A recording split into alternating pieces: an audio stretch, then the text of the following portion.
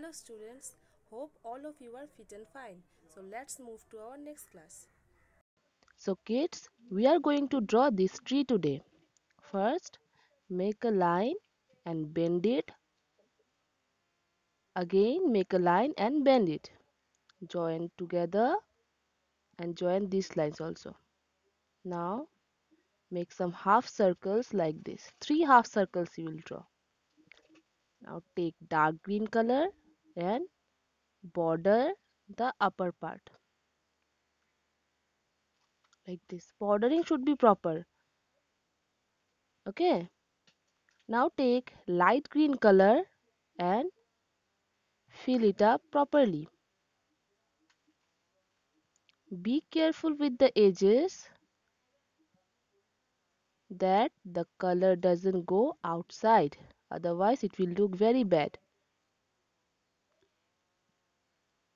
see. And blend the color in one direction.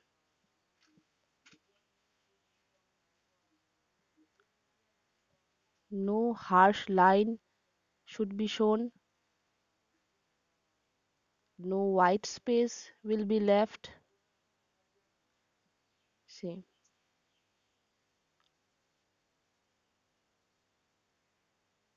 Carefully you will blend the color. Rub it properly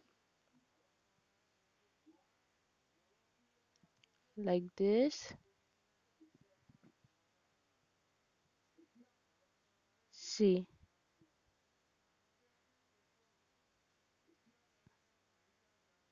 It's almost done. Like this. Now take the brown color and border the trunk of the tree like this. Over the pencil lines. Now take yellow ochre color and fill up the trunk. And kids I am using pastel color here but you people need to use crayons fill it up properly like this. See it is done.